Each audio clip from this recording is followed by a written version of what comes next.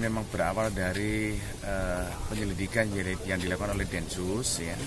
Jadi tadi pagi tadi pagi kita sudah uh, melakukan penangkapan beberapa terduga teroris yang dimulai dari uh, daerah Bekasi, ya, daerah Bekasi. Dia ada tujuh ya, tujuh tersangka ya diduga teroris sudah kita amankan. Kemudian yang satu ada di daerah Cilincing ini, ini yang kedelapan gitu ya. Jadi pada intinya bahwa daripada pelaku yang diduga teroris yang kita amankan ini memang ada rencana ya, ada rencana untuk melakukan uh, pengeboman ya, pengeboman. Gitu.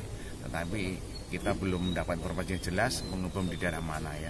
Tapi ini sedang kita lakukan pendalaman dan ini kita lihat sendiri teman-teman ini ada beberapa bahan ya, bahan-bahan yang berkaitan dengan apa yang uh, mereka gunakan ya.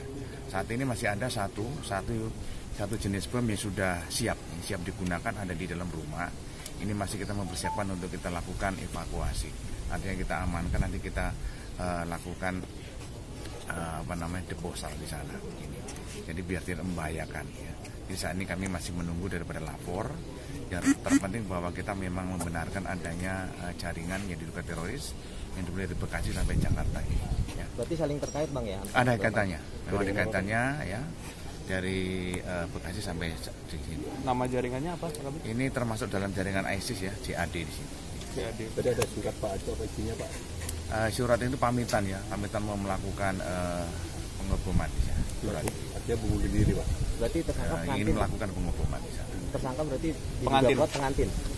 Ya ini masih kita cek ya, memang dia apa namanya sudah di surat juga ada ya, memang sengaja dia ingin melakukan pengeboman di sana. Kalau sendiri atau kontrak atau belum Pak? Nah ini belum belum kita dalam. Pak kalau tersangka yang sini inisialnya mungkin Pak?